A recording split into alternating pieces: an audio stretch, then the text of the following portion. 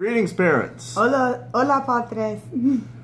Another parent update. This is going to be very quick uh, this week. Not a much, not a bunch of things to go through. Uh, esta semana no hay muchas cosas para hablar, uh, solamente muy rápido. Uh, so, one thing I just want to make clear: you were sent an email by our director Holloway, and she reiterated that your students need to make contact with teachers once a week. Uh, fui a recibir una email de la principal, señora Holloway, y es necesario para tus estudiantes hacer contacto con los maestras una, una, una, un tiempo para cada semana. Um, I just want to uh, confirm that yes, that's true. In addition to completing teacher work, that's also uh, requested. Uh, y el, el quiero uh, confirmar que sí es verdad y también es necesario para tu estudiante completar el trabajo. Son dos cosas para, tus, para tu estudiante.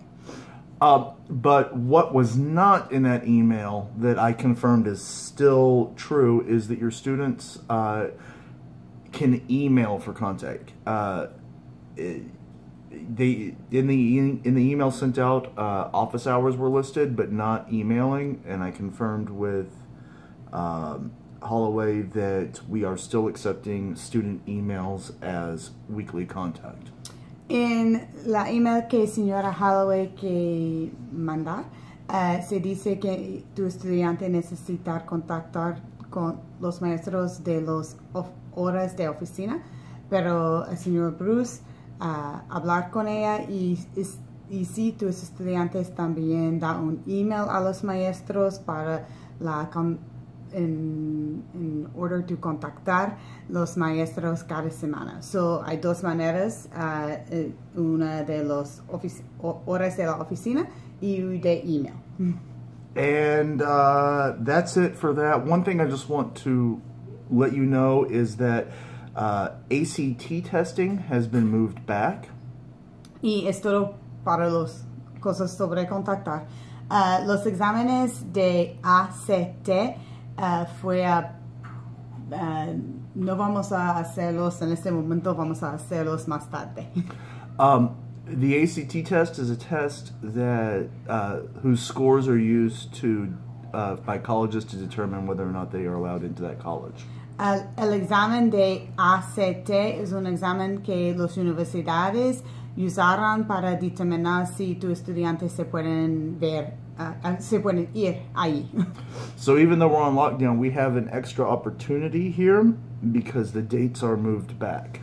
So uh, después nosotros no puedo no puede ir. Stuck at home. Yeah, uh, porque nosotros estamos en las casas tiene, tiene un, una oportunidad uh, para study more for the test, -hmm. uh, para preparar más para el examen. Because the dates are moved back. Porque los, uh, la, fe la fecha del examen está más tarde. Um, and from what I've looked up, uh, registration for that is pushed back to May 8th. Y uh, el tiempo que tu estudiante necesita firmar para el examen está más tarde también, el 8 de mayo. Uh, late registration, I believe, is May 25th. Uh, el día que tú puedes firmar para el examen más tarde es el 24 uh, de mayo. And the test itself has been pushed back to June 13th. Y el examen es June 13th es uh, el 13 de junio, June. 13, 13 de junio, no es julio, el mes, el mes, no, no es julio, es el mes antes de julio, June. Um, and I'll go ahead and link uh, the website information to ACT's website uh, in the description below, down there. And um, yeah, so hopefully some families can use that, maybe purchase a study guide uh, and get your kids studying for that ACT test. Y la información sobre el examen ACT está en la descripción uh, debajo de este video y es posible vamos a obtener uh, tiene tú una uh, una guía de estudiar para tu estudiante. All right, and that's it for this week. Have y, a good one. Y es todo. Adiós.